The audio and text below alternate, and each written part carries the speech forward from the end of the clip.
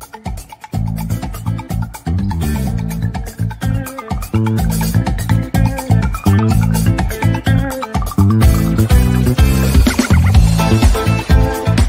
Hello again, my friends, and you are my friends, and welcome to your Wednesdays Talking Town, the match day preview show.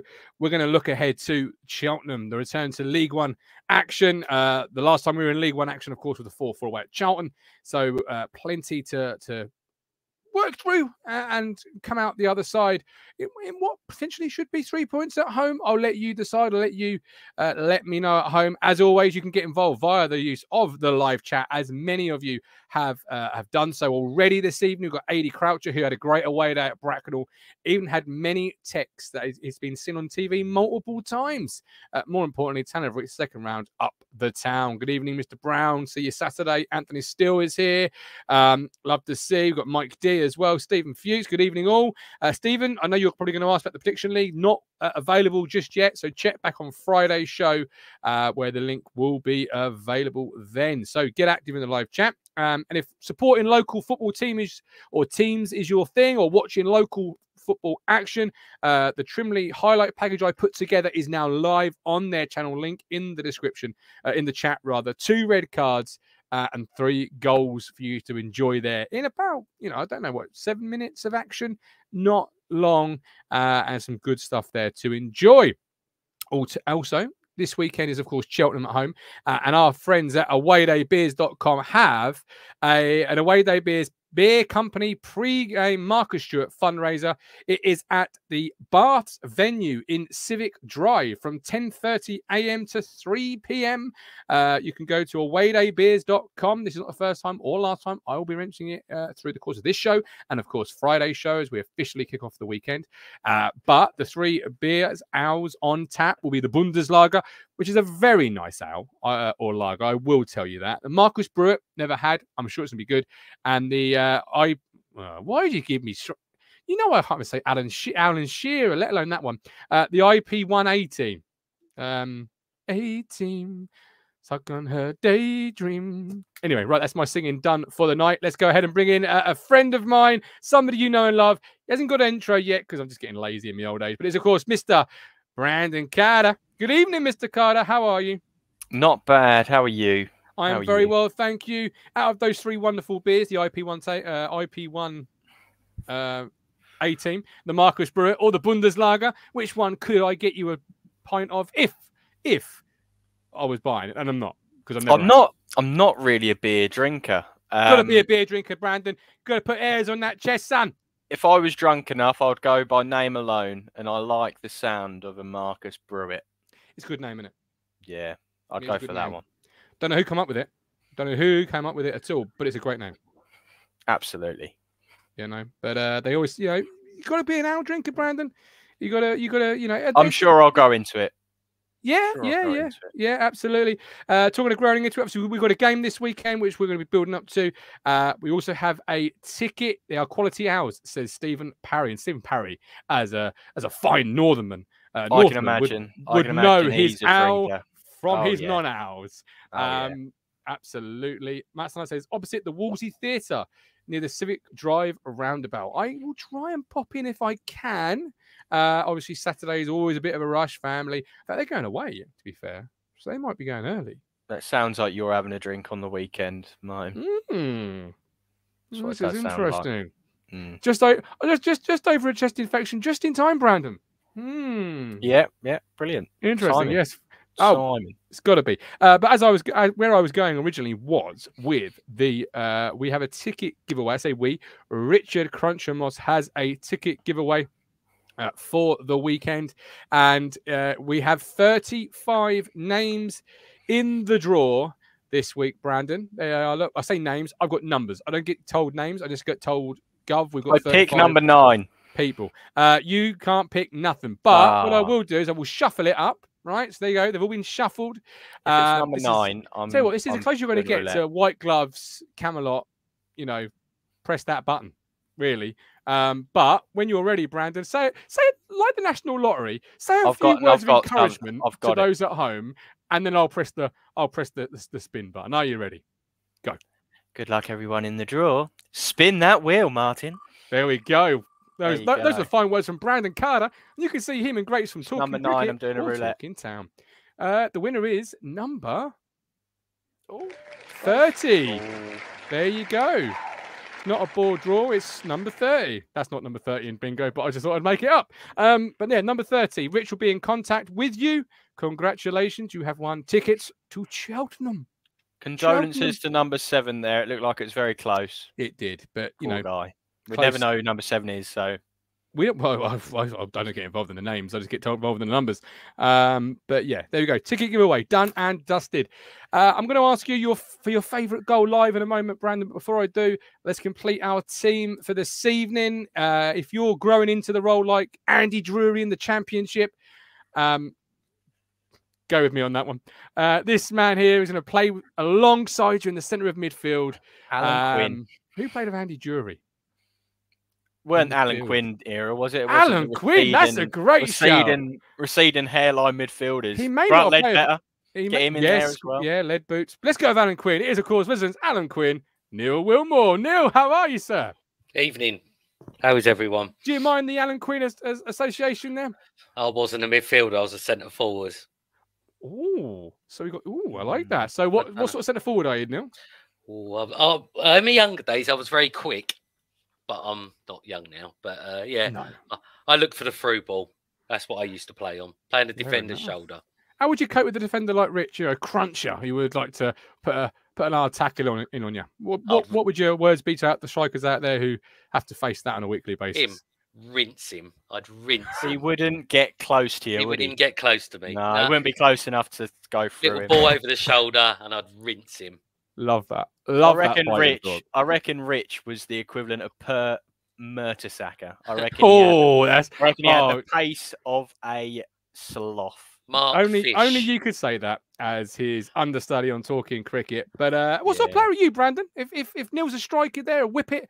What sort of what sort of player are you? Well, I was sort of a jack of all trades, to be fair. Um, I played every position between uh, the age of 16 and 18. Um, I sort of ended up going to the back because I like the header. Who doesn't like a header? Love a header. Um, so sort of started. I played a lot in centre mid, and then I went to centre back, and um, and then I, I I was even a goalkeeper at one point. Oh, it's brave. Yeah, well, they always sit the worst. Obviously, players in cricket and goalkeeper, you get the Mm. balls going at you one way or another. As an ex-goalkeeper, Brandon, I'm here to tell you they always sit the worst players in goal, mate. Don't worry about it. Um, Andy Barrels joining us at the weekend. Big up, bad Andy. Looking forward to meeting you. See you by Sir Alf. Uh, Kevin, Rich would be too worried about getting his white boots dirty. They're not white though, are they? They're pink boots. So- Yeah, he does. He does strike me as a luminous guy, Rich. All the attention has to go onto him, doesn't it? Well, he's the referee in the middle. Uh, surprised Stephen he's not Craig used to smoke cigs and drink. I didn't know you play Sunday morning football, Stephen. Uh, was never a sporty. I'll be honest. I thought Uh, that right, goes hand in hand with Sunday League, Stephen. That's why I said it. On the know, yeah. sideline, yeah. I, I was the manager of a Sunday league team now, and I can remember many players turning up at, at half time, or even, even before the game, chir- absolutely hurling their guts at the halfway line. Oh yeah, I've seen it. Uh, I've seen it. Sunday League. Oh yes. Athletes, proper athletes on a Sunday, aren't they? You know, Oh, none yes. of this isotonic drinks, just Oh, bottle of athletes. Or Red Bull before the game. probably Red Bull because it would It still go with the with the with, with the uh the, Jaeger. the oh, yeah the burping that you vodka, you were yeah. probably I still bet. Uh, I, I bet having. Cristiano Ronaldo has never done it on a Sunday morning down Low Road in Dover couldn't. Court, has he? you could Oh No. god, yeah. Low road in Dovercourt's freezing down there. He knows. Sunday That. Neil knows. Oh, knows. Neil knows. Sunday Neil League knows it. football down there is freezing. Yeah, hailstorms from the seafront. yeah Oh, right, yeah. going that way you know not, Oh, not yeah, down like the normal horizontal. Cold, cold wind. It, it can be 30 degrees and sunny Oh, and yeah. hot everywhere else, but it will be about 10 degrees with a wind chill down Harry. Oh yeah, yeah. Graham Love Tate would be a Drilling type striker. Didn't know you were on the bench there, Graham. Um, favorite live, favorite goal you've seen live, which sadly would rule out Aaron Drinan because I never saw a goal of his live. Uh, through the iFollow screen, certainly, but Mm, not yeah. live. Um, they're rarer than a unicorn. Um, well, they were for Town. They're not, they're not for Leyton Orient, I'll be honest. But what is your favorite goal to have seen live? Like to know yours in the chat. I'll start with you, uh, Brandon, because I brought you in first. You had a bit more time to think about it. Your Yes. favorite goal live and why? Unfortunately, I've been a fan through the dark years, considering my age. You know, I, I missed the, I missed a lot of the good stuff. But my favourite goal I saw live was when Ipswich beat Crystal Palace 3 0 at home, and Aaron Cresswell scored an absolute screamer. And if you remember, just before that, I think Damien Delaney turned to the north stand and, and indicated that we were going down. Mm. And uh, Cresswell, with the outside of his left peg, has curled it into the top corner. And he's run across the north stand, pretty much doing this, saying we're not going down like that. Yeah, And, uh, celebration. It yeah. was. It Yeah, was also, I think, um, Frank Nouble scored 20 seconds after because he uh, tackled Speroni from uh, a pass back to him, and then, as I said, we just absolutely rounced them 3 0. It was lovely. Yeah, yeah, I remember that. Yeah, that Cresswell goal was. It was like I, I was sat. It was uh, I had a half season ticket that year, which was like a fiver because that was when under 16s went for like a fiver for a season Yeah. ticket, which is brilliant. Um, I was front row by the corner flag at the cobbled, so you could sort of see the fans done the normal fans thing, you know, as soon as a player touches a ball 20 odd yards out, shoot. And he did with the outside of his left peg. N'Daw got the assist. Of course what he else did. Do you want for a goal? course he what, What else do you want from a girl? There he is. Ipswich Town Absolute folklore. banger. Big bad Guirane N'Daw. Uh, I remember that game actually. Yeah, Paul McShane probably still checks in his closet, under his bed, in his back garden Frank for Frank there, he's Nouble there. because Frank everywhere. terrorized him. What a game night. that was for him. What a great game. Neil, your favourite goal live and why? I've got a few in the chats I'll get to in a second, but what's your favourite goal and why? Blimey, I got hundreds. Um, Oh, good. We like that. Bring one to the party. oh god, there's loads. Uh, the playoff season, you could pick Oh. several of them. You had Magilton, uh, Mowbray at Wembley, Stewart's goal, Bruce's goal. Uh, then there was Alun Armstrong against Inter Milan in the UEFA Cup. That was a great goal. That was a very good goal. Great ball in the box as Great well header. from I don't know how. uh, I, I've, Jamie I've Beckham. seen that on video, but I don't know how he generated the power on that header. There was, It was, no yeah, power was on the the- cross at all, was Nah, there? I think it's a low up from was it Yeah. Clapham crossed it yeah, in? Jamie Okay. a la Clapham Beckham. Yeah, and it was just all in the neck, and he somehow managed to get it in. But I suppose Power if I had neck. If I had to pick one, it's Magilton's equaliser in the last minute in the playoff semi. Oh, that is a great goal. To be fair, was. that is a that is a good goal to It choose. There's many to choose from that era. Paul Anderson in the playoffs against Norwich. I know we lost to him in the second game, but that was a That's I've not never even heard a noise like it. no. That's not even Paul Anderson's best goal though, Neil. His best goal was at Huddersfield know. away when Yeah, I he know, curls but- it in from like 30 I yards. know. I'm talking about That is a goal. goal. and everything. You know, it's um Yeah, that is. You're right. Priskin right. Against Arsenal. There's Yeah, another no, one. he just put that in there. Priskin's offside goal against Arsenal. How about that? what with one? Healy's deflected assist? I still can't believe that out of all the players that Arsenal had at that point, to absolutely knock us out of the competition and some was Lord Bendtner. Can't Yeah. believe it. Yes, I know. I can't believe know. it. Yeah, I can't. It's the way it goes sometimes, though, isn't it? Football's cruel. It's a cruel, cruel game. Yeah. Uh, but if you've ever been to Huddersfield, either of you, you'll know the away fans are right behind one of the goals. So Lee, uh, Paul Anderson, Lee Anderson, he wishes. Paul Anderson's goal at Huddersfield is such a good goal because you're right behind, you're right facing it as it as it just bends round that. I've just defender. remembered. I've just remembered three goals that I saw when I was younger. Go and for it. I, I was there the day Dalian Atkinson got his hat trick against Middlesbrough. Ah, we've got Mike D there. Atkinson versus Boro as a highlight. Three, yeah, they're three of the best goals you'll ever see. Uh, Taricco gets Pal- uh, gets Palace 1997, and then Taricco gets Man United in 97. That is a great little goal over Raymond Van der Gaal. There's a name for you, Raymond Van der Gaal. And uh, what a I great, great remember um, situation. Legwinski scored one goal at town. Wasn't that a, a bit of a screamer of a volley, if I remember rightly? No, he scored more than one because he scored against Norwich as well, which wasn't a volley. That was a well worked goal where he worked himself into the box. And after that, it, the song I was uh, Legwinski. He scores against the. He'll score another one. Legwin. Whoa, what a player. every Oh, what is every single Tom Lawrence goal for town is probably a contender in terms of quality. QPR away. I mean, that's a, Yeah. you know, hell of a goal. Uh, we've got we've got Cucci against Palace away to win four three. Says Craig. Uh, John Stead overhead kick at Reading. Love a good overhead kick, particularly from John Stead. Uh, Bat Stannard, Danny Haynes' goal, which was blatantly handball. Uh, Wickham running the length of the pitch to score. Uh, love these coming in. Do keep them in. Yago against Coventry. Taro- Yes, yes, yes. Yes. Makes his own goal. Barrett's run the length of the pitch. pitch. Uh, Rob Brilliant. Holmes, Ullathorne OG against Norwich. The fact, oh, the- just the look afterwards where he just, in, just shakes his head like he can't believe it's happened to him. Like, what's he done to me? What's he done? Great. Thing is, though, luckily for uh, Rob Ullathorne, Rob Ullathorne is that it's Bryan Gunn that gets the whole Oh yeah. Yeah, he he's he, he's the footnote that's often overlooked, which he'll be probably pleased about. To be fair, uh, but at the time, his face certainly didn't think he'd be overlooked. He thought he was, oh no, what have I done? Um, talking about what I've done, or what somebody has done. Um, wows! Apparently, they've got a world class squad because Oh, they've uh, they've left Wesley Lionel Messi Burns at home for the the squad, taking players such great, such powerhouses, such as Johnny Williams, uh, Rubin Colwill, Chris Gunter, um, ahead of him. Neil, what are your thoughts on no World Cup for Wes? On a selfish note, it's good because he stays Yeah. with us. But for him, it's a shame because there's players in there I would think he's better than. Whether he'd get a lot of game time out there, I don't know. They seem very a close knit group, the Welsh. You know, they've got their side, and Hmm. like Joe Allen's in the squad, isn't he? I think. Uh, I yeah, believe even though so. he's injured. Yeah. Even though he's Yeah. injured, yeah. Morrell, Will, Johnny Williams of League Two, Swindon.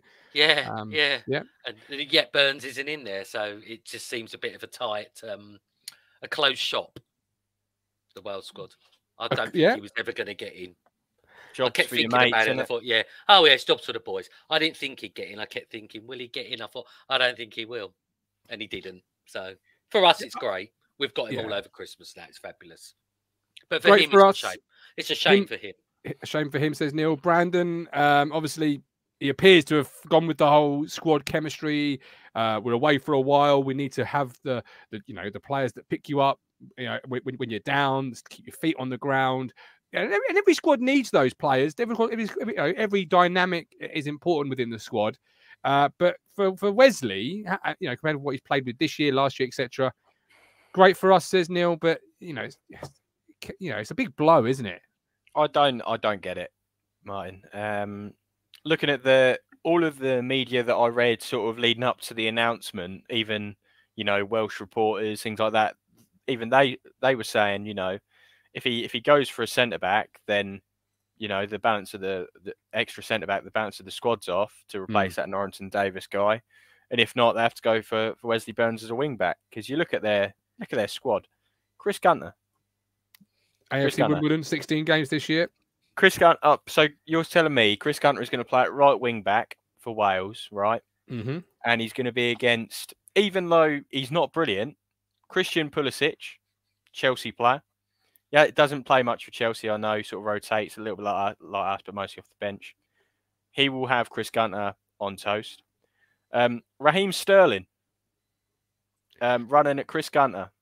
Um, I'm sure there's probably two Iranians who are probably going to have Chris Gunter on toast. So I, I, I, I don't get it. I, I don't get how two players who are playing in League Two, right, are in the squad. I don't understand how he's gone for. I think I read somewhere that about three of the players who arguably could have been left out, whether that be a centre back or a wing back option, have played something like a combined amount of like three starts between them all year, all year this year. Not ideal. Considering we're we're about a third of what well we are a third of the way into the season. I don't get it because he also said he was asked about um, Rabbi Matondo, who's at Rangers, um, Robbie Matondo, and um, his reasoning for that was he's not been in great form and he's not creating chances. Well, why are you selecting players who I haven't seen Johnny Williams score a goal in League Two this year? I haven't seen half of these people who he's picked ahead of Wes Burns who are on the on the cusp don't play. So he's No. contradicting himself by who he's selected and what he's saying. But I'm happy we're going to have him. Um, I think we would have been able to survive without him because I think Yep. that, as we've touched on a lot this year, he hasn't been at the heights he has been. But a lot of that has been because of how good our left side is. Um, but um, yeah, I, I'm gutted for him. I'm happy for Ipswich that we're going to have him. I'm sure that I know that he came out after Bracknell, and I think he said all the right things. That it's a win-win situation for him. I think that there's going to be a couple of lads who have to get around him a little bit because he probably will be a bit miffed, Deflated. a little bit. Yeah, Yeah, because yeah. obviously he's what is he? Is he 27? So be- natural. So you know, natural. Yeah, yeah, 27. Another- You know, he's four years, you not might not be he's what he 31. is, especially the sort of player he is with relying on his pace and his athleticism, he, he might not have that. Wales might not, might not be there in, in four years' time. You know, they're not. Well, they're- with they're the not a way country that that's they're assured selected, their not- position at a World Cup just yet, surprised. are they? I wouldn't be surprised. I, I, I genuinely thought I, it's not just down to Wes Burns. I thought that Wales have half a chance of of getting out the group, considering USA are really their main challenger. If if Iran come through, then fair dues to them. But um, you know, but Gareth Bale's played something like what sixty-seven minutes or something. I read somewhere. Yeah, but he is special, Um, isn't he? He, he is special, but at the end of the Yeah. day, you're not going to be able to get 90 minutes out of him. And if you're bringing him on for 10 minutes, you might be two goals or three goals down by then to make a difference. Is quite difficult. So good luck to them. Good luck to Kiefer Moore FC. And um, I'm sure they'll get uh, battered a couple of times. They might Well, get a you win know. against Iran, though. You never Yeah. know. I mean, you know, last thing we wanted was seeing Wesley Burns against Ipswich scoring a, a last minute winner. Uh, Rob Holmes, disappointed for Wes, but glad he's playing for us in promotion push instead of warming a bench in Qatar. Uh, Wales will be out first week, says Gavin. Andy, um, oh, no, don't know what that's about. Colin, Johnny, Williams, what an effing joke. Yeah, to be fair, you know, Johnny, he's played, uh, or Jonathan Williams, he's played 16 times for Swindon, six goals. He's not in the worst of form. It's, you know, it's just because he's there instead of Wes. Well, Yeah. this is it. Yeah, this is it. Um, absolutely. Uh, I hope he's got the tour of the shares in the home of Colford. Oh, don't know what that's about. Matt Stannard, you know, it's England versus Wales draw, England USA draw. England knocked out by a fluke 1 0 win to Iran. Uh, Gav doesn't care about Wales, but he cares about Ipswich Town. Absolutely, Gavin. I care about uh, you know, Wesley Burns, who plays for Ipswich Town. And Absolutely. what a disappointment for him. But he will remain a town player. Uh, and what a way to, I don't know, proverbially stick a couple of fingers up by grabbing the, all Go the headlines through goals. November while potentially Wales struggle. Who knows I what think the I think what storyline we've, will be? what we've got to remember is there's another round of fixtures coming up this week, and you can change the squad up until two days Yeah. before it, uh, before your first game or some shit like that. So, through to injury, isn't um, it? yeah. So if anything happens over the weekend, I can only imagine that considering he was on the cusp, according to a lot of reports, I imagine that he'll be one of the first names that they could possibly bring up because he is quite versatile. To be fair to him, he's shown it even for Wales when Yeah, he when he started that game. I I was sort of following the game and I saw it. He was getting a lot of praise, saying that playing left wing back, which we haven't seen him do at Ipswich, No. that he was he was sort of like lightning in a bottle that we knew of him last year for us. So um, yeah, I'm gutted for him, but um, I'm sure that he can smash in some goals whilst Wales are, are losing at the World Cup and maybe point at the back of his shirt like uh, James Norwood him a couple of times whilst he was at town. Well, well, this is it. You know, he's had plenty of practice on how to get headlines with with uh, fingers in ears. I know he wasn't here for that moment, but I'm sure he's got a video. You can watch it back. Um, or the Teddy Bishop was it the Teddy Bishop? Teddy Bishop did it. Yeah. Yeah, the finger. Um, Didn't, uh, yeah, Chambers did it as well, didn't he? yeah. I, I, I, they're all they're all manner They of were all doing it. at- Yeah, at they that were all doing it during COVID. Was it the Yeah, start of that season, weren't it? When it was It COVID? was against yeah. Wigan, yeah. Yeah, um, yeah. Neil, uh, Brandon said that about obviously, you know, they, c- it can change before the World Cup. If it was to change, because Wes can play left wing back, right wing back, right back, right midfield, right centre forward. If it was to change and Wes was to get drafted in, just to live in this world for 30, 60 seconds, could we cope without Wes if he was to get drafted in? I think so. Yeah. What I've seen so far this season, we've got enough to cover. I think. I think so. With your likes of Edwards, etc., that have come in, I think. Yeah, Burns hasn't been as good as he has been last season, but whether that's people have got wise to him, people know how we play with him. I don't know, but yeah, I think we could cope. Yeah. Uh, Carl Edwards obviously could have potentially filled that gap. Uh, another another Vincent couple Young of the other night. Vincent, Young Vincent against Young, Bracknell was yeah. outstanding. Yeah. As you wish, uh, wish, wish, wish players to be, you know, because of the, the golf in the competition. But yeah, you're absolutely right. Looking forward to seeing if either of you have him in your lineup for the weekend. Before we get to that point in the show, uh, Kieran McKenna has been nominated for a, a Player of the Month. Uh, in other news, Birds Oh, he's Fly. done well. Player of the Uh, month. yeah, I mean, Done well. uh, manager of the month, manager of the month. But in fact, he's, he's so good, he could probably do it all anyway. Player, scorer, keeper, anything he wants to do, I'm sure he could do. But manager of the month, he's up against, right? Here we go. Grant McCann at Peterborough, Darren Moore at Sheffield Wednesday, and Steven Schumacher at Plymouth. Neil, does Kieran McKenna take it? If so, why? And if not, who takes it and why? Uh, I don't know whether he will. I, I suspect the Plymouth guy will get it. Schumacher.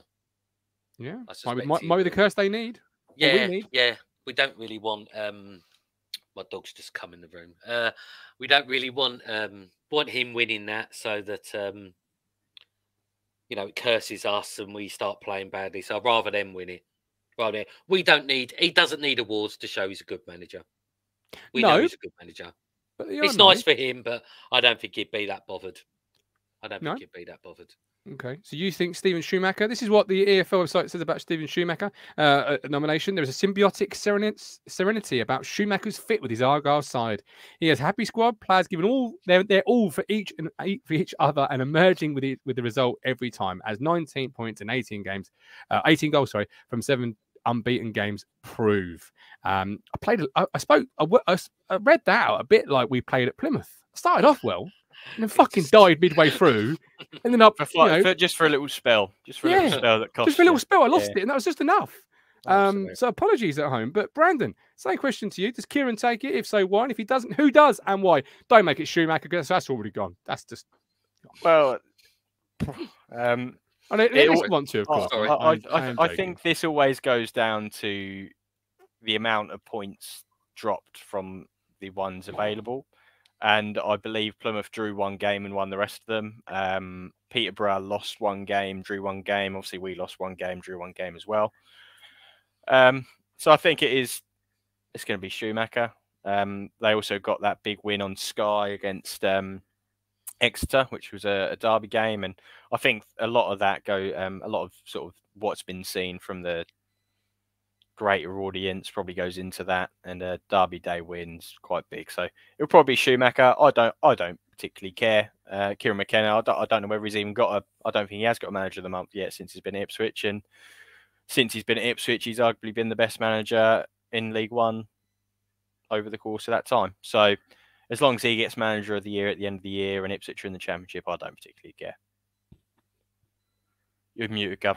Sorry, having a cough. But Schumacher is your, your, your choice.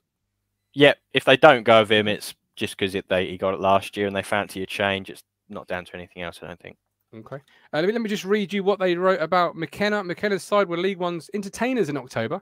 Their seven games, which brought them 16 points, so a total of 26 goals, including a thrilling 4 4 draw. It fucking wasn't thrilling. Not one bit. Not one bit of it was thrilling. Let me promise you that against Charlton. No. Um, and stirring 3 2 victories over Portsmouth and Port Vale. A thrilling 4 4. I Don't want to be that. thrilling. It wasn't thrilling for me. Not sat here. Draining, No, no, no. demoralising. It was evil. Uh, Norman Plymouth are scoring a disproportionate number of goals from their chances they create. It cannot last. And Colin wants us to sing uh, a Peterborough fans, you are Tim Pot and you know you are. Um, but yeah, they're coming up on the horizon. Grant McCann's gone playing some decent stuff. Colin, they're they're moving in the right direction. I'll sing it when we're one 0 up against them. Um, Not I think we get we do we have them that coming up dangerous, though. very 'cause We soon? win a goal December. up We have in and it's one December. defeat, you know. Mind you, I do remember Clarke Harris's penalty during COVID at Portman Road. Mm. That that that cheered me up during COVID. Um, Like it. I like it. Um, 80 says it was great to see Matt Holland in the crowd at Bracknell. Talking to Bracknell, let's pull one positive each from that display on Monday night, 3 0 win. Uh, Brandon, I'll start with you. One positive we can take out from Bracknell and into the league this weekend. defending crosses. Oh, okay. Elaborate a bit more for me. I think regardless of your opponent, if there are balls getting put in the box and there are big players on both teams, which there were, that's sort of where quality in terms of teams and players sort of comes a, little bit more level. And Keogh and Burgess and even the rest of the lads, you know, we won every header. They um the only time the ball was bouncing around the box, their their uh, their skipper, the Waitrose delivery driver, um, got his foot up to about seven foot tall with uh, his other leg planted on the floor and, and put over the bar. But um, that that was how we were gonna.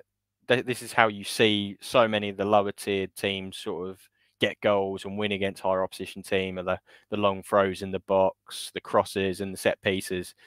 And although the quality on some of their crosses weren't great, as I said, we won every single header, which we we haven't said in the previous week or so before this game. So that's the positive. Love that. Uh, we've got a few more. We've got winger. We've got professional from Stephen Parry, uh, KVY from Craig. Uh, Matt Stanley, Crunchers trainer said they're positive. was was was was that was, said they're positive was they got a good wash. They were very muddy those white trainers after the Bracknell. Uh, Neil, your one positive to take away as we head into the weekend. Oh, you're on mute, Neil. You done what I do, mate. Oh, Neil. Neil. Neil. Neil. Burgess. Burgess. Burgess's performance, yeah, and him coming back. I thought he was outstanding. It was nice Yeah. to have him back.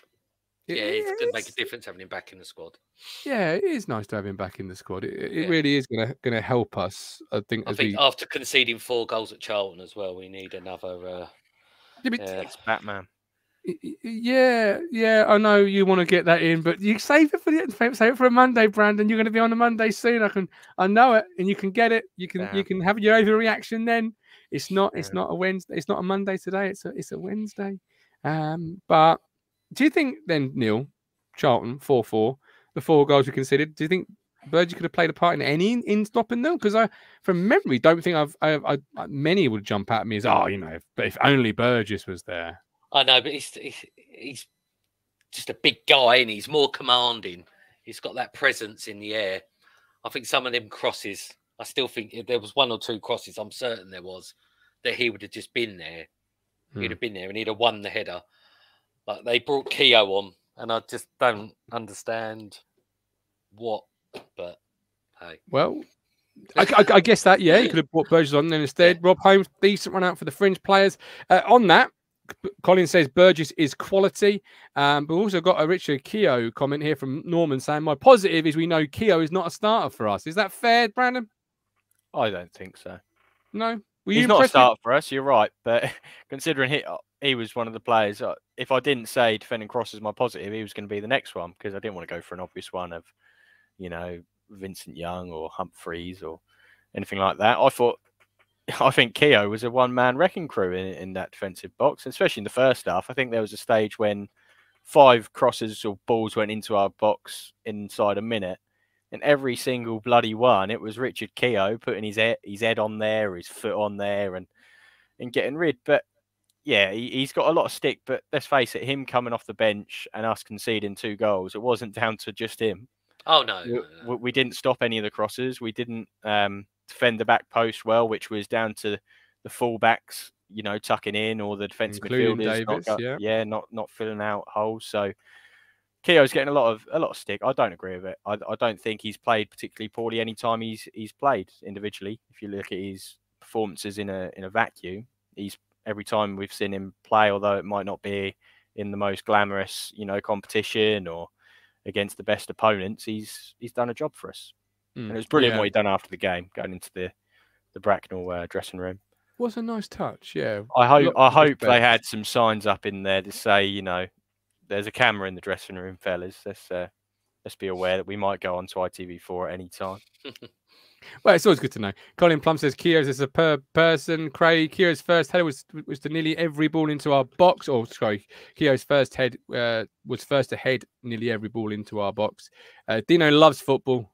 Uh, he says all about opinion. Start of season, people were saying get rid of Burgess. Uh, 80 great praise go to Bracknell how they uh, performed both on and off the field. Right, hold up before we go any further. You can join the Talking Town family by going to Talking Town Fifth Stander today head to our Ko-Fi site, hit join on YouTube, get access to great such as the Discord server, where you can talk absolute nonsense day in, day out, 365, 24-7. Um, and eventually I might pop on once in a blue moon. It is once in a blue moon. I must do better at that. I do apologize. Uh, but from 449 from 499 come and Talking Town at Too busy on Football Manager, aren't you, Gov? You can tell the audience. You can tell them. It'll be fine.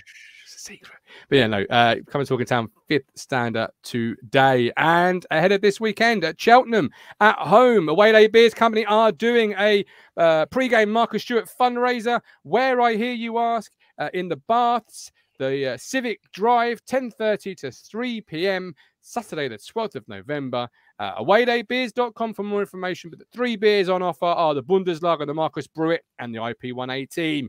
That is uh, the Away Day Beer Company pre-game Marcus Stewart fundraiser, the Baths venue, Civic Drives. Get yourself down there for a great morning ahead of a great game because that is what we're talking about next. Cheltenham uh, coming to town. This is your League One table, just in case you've uh, not looked at it recently, forgotten it, whatever it might be. Uh, we sit in second, 17 points, 37 points. Plymouth are uh, a little bit of a distance opening up now. Uh, but we win Saturday, they lose. You know, it closes again, of course, but 41 points they're on. Wednesday, two back from us in third. Uh, the opponents for Saturday, Cheltenham, are 19th, which is sixth from bottom, 18 points from 16 games, one win in the last five. Anything but a win is a disappointment, isn't it, Neil? Oh yes, yes. Someone needs a whooping. And do you think it's going to be them? Oh, I hope yeah. so. That'd be lovely.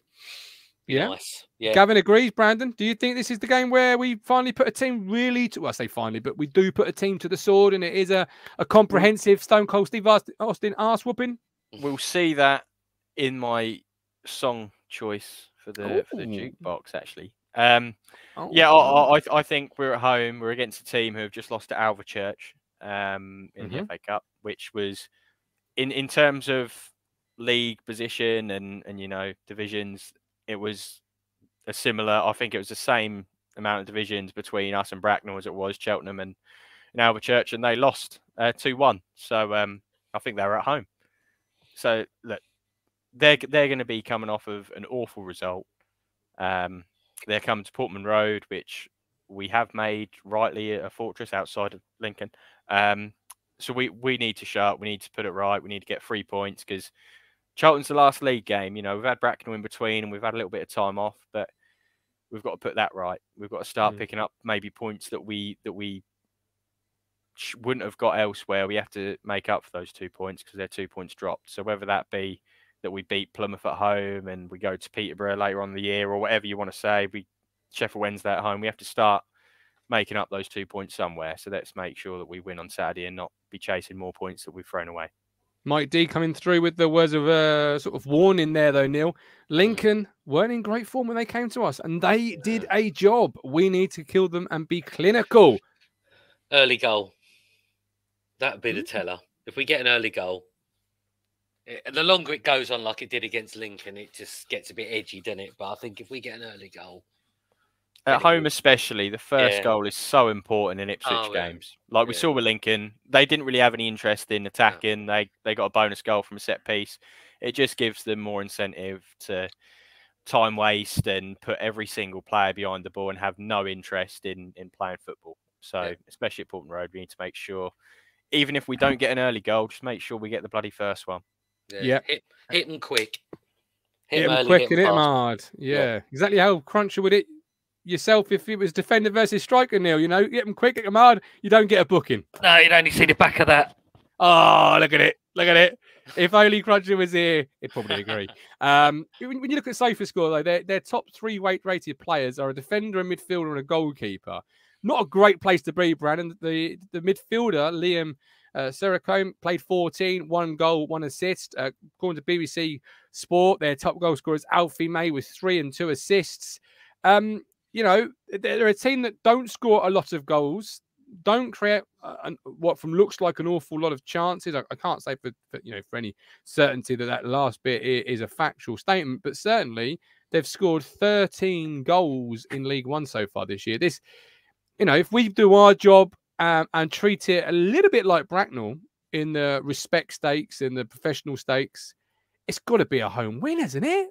It's got to be like you, I, you know, it's like San Marino Yeah. brought into town. Yeah, it, it does have to be a win.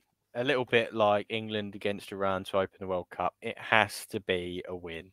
Uh, I think fun. Alfie Alfie May's actually come off the bench a lot of the time as well, and obviously he's only got three goals and their top goal scorer. So um, says it all, there doesn't it? There was nearly as many goals at the Valley as it has been Cheltenham score all season. So um, True. yeah, but yeah. for these sort of teams, we saw we lost to them away last year, didn't we? Early on the season when Matt Penny scored a, a decent goal, and then we sort of combusted. I know they haven't got was it Tozer who's at Wrexham? I think he was there. Long throws into the box. We've just got to defend across better, and I hope that since the Charlton game, we saw some some improvements against Bracknell. I just hope that that's what they've been practicing, stopping the cross, and if the cross is in, just be better prepared, better organised to head it out. I'm Yeah. I'm really Um, not interested in a 1 0 Cheltenham here. I'm really not. I'm not interested in a nil nil. I'm not interested in a draw. I'm interested in a convincing win and um, no butterflies in the stands, please. Would be nice. Would it surprise you, Neil, to find that actually, you know, scoring goals seems to be their their issue because they've got a better goals against rate than six teams that sit above them in the league table, having conceded only 20 goals in in, in 16 games. Um, 16 games, did I say? It's- yeah, 16 games. many. That's that's quite low, isn't it, for a team inside the bottom six? You know, so it's really creativity. They say they're all scoring. Certainly, they're struggling. Yeah, they're not scoring goals, but then they're not conceding as well. You look at a lot of their games, they're 1 0, 1 all, nil 1. You know, they're, they're, they're very tight, which makes you worry that obviously if you don't get that goal, people are going to get edgy. Whereas I think if we do score, we could open up a whole can of, you know, great chances to score goals. But it's, I hope it isn't one of them edgy ones. That's all I'm hoping. That's all I'm hoping. Well, this is what we all hope. Uh, we'll go to the jukebox, um, and then I'm going to come back and ask you both for a couple of your your your your selection. I'm, I'm, I'm going to call it selection headaches. You've got centre half, centre midfield, centre forward, uh, and a wild card. Might be a wild card to some, might not be a wild card to others, but we'll see. Uh, but first of all, the jukebox. This is where I pit you both against each other um, in an X Factor style showdown. You're both going to plead to the nation why they should select your song for the Talking Town Jukebox entry. Uh, Brandon, I will let you go first with this one. What is it, and why should the great Talking Town viewers vote for you in the live poll? Well, this is also my prediction for Saturday. Um, I predict a riot by Kaiser Chiefs Good song, that. because I believe that this is going to be the game where we turn up to Portman Road and we absolutely pummel the life out of Cheltenham Town. If it's not already out of them by Alvechurch losing to Alvechurch at home, um, I predict a riot by Kaiser Okay. Chiefs. Brandon with I predict a riot. Uh, Neil, over to you. I can't remember who made who done the song. Welcome to the House of Fun. Who was it? Was it Madness. Madness? Yeah, Yeah, because that's what it's going to be Saturday. It's going to be a House of Fun. When a ball's hitting in it every five minutes. Oh, I like it. House of fun because it's going to be the uh, the ball hitting the net every five minutes. It it says Neil Brandon. Uh, we predict. I predict a riot. Um, I'd go for the Fratellis. You know, bit of Chelsea dagger. If I'm thinking goals, you know, back of the old Joe Rule entertainers. That used to be, yeah. There you Another go. very good song. Your I believe dad's a they're dancing on Talking Town. they're next to. I think they're actually next to each other on a playlist of mine. So, um, Are they? but uh, I predict a right. That's going to be the score. That's going to be all of um, the Sir Bobby Robson stand running downstairs to celebrate by the advertising board, even though we've scored down the other end. Um, so uh, yeah, that's a Limbs. Uh, and still, there'll, there'll be a riot if we don't beat Cheltenham, says Anthony. Still. that too. Many reasons why there's going to be a riot at Portman Road. Yeah. Dino says two good jukebox uh, songs. They certainly are. It's going to be a tight one, although it's currently 60 40. I'm not going to say which way it's going, but it's 60 40 at the moment. Get those votes in. It is hidden within the live chat. Do look for it. It should be at the top of your live chat. There is a, a poll. Uh, it's got Jukebox, Brandon, and Neil. Put your vote in uh, for who you think should be entering the Talking Town Jukebox for Cheltenham. Right. Centre half Saturday. Who's playing at centre half for you, Brandon? Who are you two? Edmundson and Woolfenden. Yeah, so you're going to go for a rinse and repeat of Charlton. Yeah, I, I think that they're the be- best two to play at home as well because they're the best two on the ball. Um, I think people very soon forgot that they're the same two that um, left Derby to scraps uh, a week a week before that at home as well. So, as I said, the way that I've seen the problem is that we haven't stopped crosses. That's not the centre half's job, um, and I think Okay. that you have to instill some confidence in them and uh, and give them a go. Okay. Uh, Cotlin agrees with, uh, no, sorry, Connor says Burgess. Stephen agrees with you, Brandon, S- Edmundson, and the Wolf. Neil, are you going to side with Brandon and go with Edmundson, and- uh, Edmundson and Wolf, or are you going to bring in uh, somebody else? But I went uh, Burgess and Woolfenden. Okay. Talk, talk to me why. Why Burgess and Wolfie? Uh, so I think it's going to change it up. I know Edmundson didn't play the other night, but I just think it's going to change it up. I think Burgess, he was trying him out the other night just to see, you know, whether he's back from wearing his face mask and that, and I just think that we could well see him in there. Uh, any any any any comment, Neil, on on David there, Burgess and Keogh for him? Uh, no, Why? No. no chance. No, 'cause it'll be it'll be one of Wolfend and Edmundson or Burgess. Keogh Keogh's backup. Keogh's To the backup. Oh Backup yeah, to the backup. He's backup of a backup. Yeah, but Yeah. he's there. He's there, like you know, throwing him on. You know, he's good for injuries, cut runs. Uh, whether we want to throw him on for the last ten minutes to hold it tight. Well, one of them isn't going to make the squad, are they? Probably with Vincent No. Young back, and that means only one of them are going to be on the bench. So Yeah, I mean, Yeah. Keogh might not even be on the bench. no, So not not a bad place to be though when you're leaving, you know. But, but he's, if he's back up to the backup, then perhaps that isn't the place you, you'd want him anyway. Uh, Colin says Woolfenden and Burgess, Norman Edmundson and Wolfie are the best defenders to break the lines and start attacks. Going what what you were saying there, Brandon, in the sense of you know they're the best gonna two to play at home. we're going to have eighty odd percent of the possession. Um, it's it's going to be tough where we're going to have to break down the lines of the defence. Um, you know, I expect that they're going to come and they're going to be if they if they got a nil nil draw Cheltenham, they'll celebrate it like they've won four 0 So, um, we've got to go. Although the first job last for defender, yeah, the first job of a defender I know is to defend, but on this in this situation, Edmundson and Woolfenden get them in, and um, I know that it, I think it will be a little bit like Cambridge. I think um, Edmundson and Woolfenden were nearly playing as centre midfielders.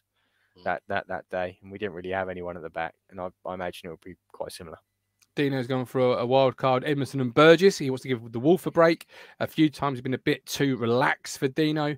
Um, Colin Plums, congratulations to Woolfenden. Yes, absolutely, well done. Congratulations on a on a on a on a, a baby girl. I think it was from memory. Was it a baby girl, Woolfenden? I think it was. We'll go with it. Yeah, yeah. Um, A yeah, baby no, human. Was a baby. It was a ba- yes, It was a baby. it was Stephen Parry. If anyone drops out for Burgess, it'd be Wolf. For rest, our centre, our strongest side had Edmundson and Wolf. Neil, if we're going to have possession, as Brandon suggests, we're going to miss Lee Evans, of course. So who's your midfield too? Uh, I've still stuck with uh, Ball and Morsy. Uh, Even though Ball was many people's probably one of the you know worst performer on, on Monday I- night. Yeah, but I don't. That's against Bracknell Town. It's not. It's not the same as a league game. He uh, when against Derby, he played well. I, thi- I, I, I just think he's there. He's the replacement, isn't he, for Evans while he's injured? I don't think he'll play Humphreys. I think Humphreys is he's a squad man. He won't play Okay. instead of Ball. So okay, right, fair don't enough. play that many games for QPR and not come in When season. uh, yeah, It could be ru- you know, it could just could, it could be a rust He's, he's still knocking off, you know, because Yeah, he's he- not played for a while and, and whatever. He still hasn't really played a load of games, has he? He I hasn't. think. But you have got Really. obviously Kamara coming back as well, scored the goal. Uh, but it could be a bit yeah. early for him to, to make a start. He's not match fit yet. Not he match fit for Neil. Brandon, you're you're two. Ball and Morsy. Yeah. I don't I don't understand the criticism of Ball. Um, people criticising him for not keeping the ball. He um, he's not that sort of midfielder. He was there in case there were lots of balls put in the box and to break up any counter attacks, which Bracknell didn't have the quality to create. Um, so you know it, it wasn't really Ball's game. And uh, the, the criticism that was on the show on on uh, Monday night of of Jackson and Ball, I didn't agree with. Look, we, we've gone to Bracknell we've done the job in terms of grinding them down, which everyone said the first 15 minutes or so they're going to be right up for it. We kept possession. Hardly any of them could could run five yards after 60 minutes because of the possession we kept, and you know we made the most of it. And I, yeah, I, I didn't understand any of the criticism that we got. The pitch wasn't nice. You could see that. And I, what did Ball do wrong? I didn't get it. He did. He hardly touched the ball. Whenever it was in the midfield, it was Morsy or Humphreys, which is how it should be. You give the ball to the people who are best with it. And um, if Morsy's played a two-yard pass to one of them, and then he's been given stick because he didn't do much, I I didn't get it. But um, yeah, Ball and Morsy, Ball's that insurance in case Cheltenham do, you know, as I said, get a counter attack. He sort of breaks up play, and if we're chasing the game, bring Humphreys on for him. But uh, to start off with, our attacking play should be enough to win the game without having too much creativity in midfield. Uh, Matt Stannard, who was there on Monday night, said that I thought Ball did, did okay. Wind and pitch didn't make passing great. Uh, so you both agreed on that. Who's up front for you this Saturday, Brandon? Ladapo. Okay. Why Ladapo over Jackson or Jackson? Four goals in three games. Yeah. Or Yeah. with John Jules. Apologies. Um, Um, still Lada- yeah, still, I was still quite confu- I was quite confused he wasn't in the squad, John Jules. But I suppose with us getting youngsters on there, someone had to not be on the, in the squad. I know Harness was apparently ill, was he? Um, Mm, but yeah, Ladapo goes in for me. He scored a brilliant goal off the bench against Charlton. He scored two goals before that against Port Vale. He scored a good goal off the bench against Portsmouth. I think you get Ladapo up front, you put the players behind him and around him, you put balls into him, and I think he could he could easily get at least a brace on Saturday.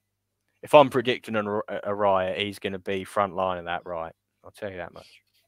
yeah. Okay. Uh, up front for you, Neil. You got you know John Jules. You had a great game against Ch- uh, against Charlton. The Ladapo is in great form. Or I think I picked the Ladapo as well. yeah. He's scoring goals, and he. I know he'd missed a couple of chances in the week, but at least he's getting there. Be worse if he wasn't getting the chances. He's getting the chances, and he he does. You know, he does miss them, but then most strikers do. If you get four chances in a game, as long as he takes one or well, as long as he takes two, it's fifty percent ratio. And I suppose you've got your two playing behind him, which would be Chaplin and Harness if he's not still ill. I Okay. think it. I think it went a little bit under the radar of how important Ladapo was in the build up to our first goal because I think he took down a nothing ball out of the sky and just touched it down to Edwards who set off Vincent Young and obviously we know how it how it finished but He does a lot Um, of that, Ladapo. He, he does, does the donkey And- work. and those sort of things sort of do go unnoticed when you're not scoring goals but now he's scoring goals you just look at it and you think he's playing the way that we all thought he could from the start of the season you know he's he's found his stride so let him go and play is what I say um, would you go with Niels Chaplin and Harness behind the behind Ladapo, Brandon, or would you go somewhere you know two else? I don't. I don't think I'd go for Harness. I think if he's been ill, um, he might have missed some time on the training field. From what we've seen in the league, especially when he came on against Charlton, to me, he he, he looked a bit lost. Um, I'd go Chaplin because I think Chaplin at home, you want him to sort of find those little pockets, and I'd probably go with one of the more dynamic options um, of either Edwards or or John, maybe John Jules, as um, Yeah. it, depending on where he is as the other one. I know that we haven't really started John Jules much as a as a you know a ten, but um, maybe Edwards. But um, okay. yeah, that'd be my. couple of options uh, uh, emerging there, though. You know, John Jules, Edwards. But definitely. Chaplin. Definitely, Chaplin. Definitely. I think he's got to play. Okay, definitely Chaplin. Um, the wild card I had in mind was the right back position. Monday's show we had the fisherman. Uh, JD's probably you know biggest supporter for a long time, saying maybe he needs a rest. Uh, crosses into the box not being stopped, goals at back posts, uh, all different manner of things. I was I could say left back, but obviously that just be well wouldn't be a talking point because people would say I was absolutely stupid for suggesting, uh, even even dreaming that Leif Davis maybe um, isn't on the field for uh, Saturday. So we'll go on the right back instead for the wild card. Is JD still your right back, Neil? Uh, if so, why? And if not, who is it and why? At the moment, he is because he can obviously slot into a free. If we want to go into a Mm-hmm. free centre halves, he can slot into that area. That's the only reason I would pick him at the moment. But I can see what you're saying. Yeah, Vincent Young played really well the other night, and that's the beauty of having a good squad. The beauty of having a good squad. If someone's having a bad time, or somebody gets injured and someone comes in and plays well, they've taken their opportunity, and that's that's the beauty of having a good squad. You've got good Yeah. players to come in for good players, and Vincent Young. I know he was injured for a long, long while, but when he first came on the scene, he was bloody excellent, and um, he's now sort of getting back to that sort of. Know I'm not going to get carried away because it was Bracknell the other night, but Do it. I, I like him. I think he's a great player, and I thought he was excellent the other night. And it, either way, but I think Donacien at the moment because they can go into a back three if they have to. Okay. 10 euros from David. Thank you very much, David. Really appreciate that. Thank you so much for that kind super chat. Uh, JD starts for for Stephen. Uh, Norman Jackson to play as Harness is out of form. Uh, it's also entertaining to see the fisherman reaction to, to him playing. Uh, Michael Brown is here saying, How the hell people saying Jackson should start beyond me? He did nothing against Bracknell. It's almost like you write the words Jackson Brilliant. to start. Name he's him got- and he will appear. He's got an algorithm. He must not be named. It Here he rings in his, in his tent while he's fishing, and he goes, Someone somewhere has said that Jackson must be started. Quick, to the, to the laptop. Um, absolutely love it. Love you, Mike. Really do. Uh, KVY for Norman to play as we need more attacking fullback. Uh, is Norman right there, Brandon, or is it JD for you? Yeah, KVY for me. Um, I'm, I'm, I was a little bit scared to say that when I saw Michael was in the in the comments. Um, no, yeah, K, KVY for me. Um, I think I said I said a similar thing after the Cambridge game about Edwards. I think when a player has that sort of game, you have to play the hot hand. It's a bit similar to me playing Ladapo on Saturday as well. Kane Vincent Young was up and down that touch line, you know, all game. Absolutely quality. Every time he touched the ball, he looked like he was going to do something.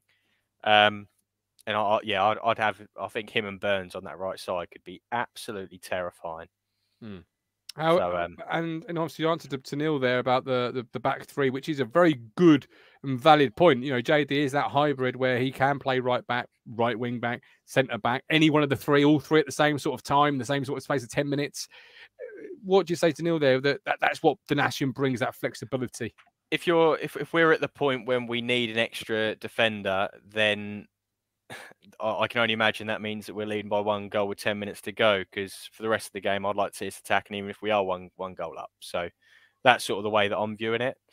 Um, I also have al- always said that I see our team set up more as a four back four. Um, and although you've got Don Ball in centre midfield who can also go to the back, so I think at any point if you want to do that, you can either bring Janoi off the bench in the second half, or you can just slot Don Ball a bit deeper and and fill the gap in the defence or add to the add to the centre half. So I, I don't see it as a problem if if we miss out on the possibility that Janoi could fill in at centre half. I think unless they're bombarding our box and we're under pressure, I think as I said at that point, I think we would have subs to- that we can make to bring him on anyway. Um, I don't see it being a problem. Okay, love it. Uh, coming to the end of the show. Uh, no link tonight. Do apologise, guys. Uh, I had a chest infection, still getting over it, but my two-year-old's got uh, a little touch of tonsillitis, so we've had sleepless nights and. Oh. Yes, Lovely. yes, he's not been well at all. He's a Can't know, believe you've um, made your two-year-old sick, Martin. Can't believe you've done that. don't give, don't give, don't give me the guilt, man. You don't give him Um, kisses when you're not feeling well, Martin. I know, I know, but he has had it, had it, you know, had it bad. So no link tonight, just to make sure we uh, finish around, if not the hour, uh, the jukebox results before we come to the score prediction. Brandon versus Neil. I'm afraid to say, I'm not afraid to say, I'm pleased to say, Neil has taken it with 50 Oh, it's a joke. of the vote. yeah. It's madness going into Come the jukebox. on. Congratulations, Mr. Wilimore. I'm not even going to go Um, to the game Saturday anymore. Well done, guys. Not Let's even go with a personal stereo and play Object of Riot on loud. Um, it'll be louder than the Tannoy in most stands anyway. Yeah, and absolutely. uh, but yeah, Neil, congratulations! Fifty-six percent of the live uh, viewing audience went with yourself. You are through to next week's round. of shows I mean, the age of our audience. That does. That's what that does. now, now, Brandon, because you, you know, just because Kaiser Chiefs are, Twice you in a row. I had a even done one-hit ready to, ready to go. Didn't even get in there last time to a song I've never bloody heard of. I've run it. I've won it twice in a row now. Oh, Neil is undefeated on the jukebox. Right, score predictions then. As Lee says, don't forget to hit that like button. Do not forget we are live at Sir Alf pre-game show on Saturday. Don't forget we have uh, the Away Day Beers Company pre-game Marcus Stewart fundraiser at the Bath venue Civic Drive, 10:30 to 3. Uh, the IP1 18 4.2% session POW, a Marcus Brewitt 5.2% West Country IPA, and a Bundeslager, a 4.6% German lager, which is very nice. Very, very, very nice. I have to have to say that I have had that several times. Um, a few noughts on there. I do like that one. It is my favourite, I think, by far. Uh, Brandon, your Robs says Michael. Uh, Stephen Yeah, also exactly, voted and for Kaiser I, Chiefs. I've never seen Michael agree with me. This is a once in a lifetime. chance for me. And it doesn't count. Yeah, I can't. Nobody cares. It's Look, over. Look, someone's even put put them both in. I think you should put them No, both in. no chance. Don't, I Dermot, predict a Dermot right. O'Leary don't get on the X Factor, does he? Dermot, both have the please, same please message. put us both in, Both songs have the exact same message that Ipswich are going to absolutely pound Cheltenham on the weekend. Is this the equivalent of when they go to the judges at the end? Please, Louis, Louis, please, please, Louis, please, please, Maybe. please, please, Maybe. please, Louis, Maybe. please. Like, just get on with it. Um, Neil's just sitting back laughing. Crack out. He's got a beer on the go now. Look, he's he's a Stick loving life. madness on, Neil. Stick madness on. Go on. You know they were, did you? Stick them on. I got my phone. I could do. There we go. Don't copy copyright. Uh, Mhm. Michael Mastannard 5 1. Colin Plum 3 0. Rob Smith 2 0. 80 Croucher 3 1. Dino 2 1. Uh, both should go in, to be fair, says Rob and Stephen Parry. 4 0, says Colin. Brandon, what is yours? 5 5-0. 5 0. Nil. Ladapo 2, Chaplin 1, Morsy 1, and Edwards 1. Okay. I like it. I like it. Neil, your score. Michael prediction, thinks the votes are rigged. I agree, Michael. Can't, can't rig a YouTube. Get over poll. yourself. Absolutely Um, nil. Uh, I don't think we'll concede. I'm going 4 0. 4 0, 5 0, 4 0. Oh, anytime You're it's all been 6 0, conf- are you? Oh, Nice. Someone's No, no, no, no. Uh, I, I just get Oh, I just get like a big alarm bells ringing every time the chat is positive, is the the contributors are positive because that. it's normally followed by an absolute shit show. Um, you know, I've seen AFC Wimbledon undercooked, Northampton undercooked. We had one this year. Lincoln, I said on the platform myself. Ah, it's Lincoln, uh, and they beat us one 0 So, uh, you know, alarm bells are a ringing, but I think we should have uh, enough about us. Um, but I'll leave it up to you. So that's 4 0 from Neil, 5 0 from Brandon. This has been Talking in Town. Don't forget Trimley's Match Day Packers. Go and give it a check. Go and give it a like, subscribe. Hit the like button on this video. Um, we're back again on Friday at 8.30 for the big weekend kickoff with Away Day Beers. Myself, Matt, and Rich. Go on, Neil. You got something? If to- anyone sees me Saturday, I'm with my under 14 youth team. We're on a an out day at Ipswich. There'll be 30 of us. It's going to be madness. It'll be madness. There'll be 14 adults and 16 kids, and they're all coming to watch Ipswich Saturday. In the So fun be there house. Saturday. We'll see you. We'll, we'll see you Friday. You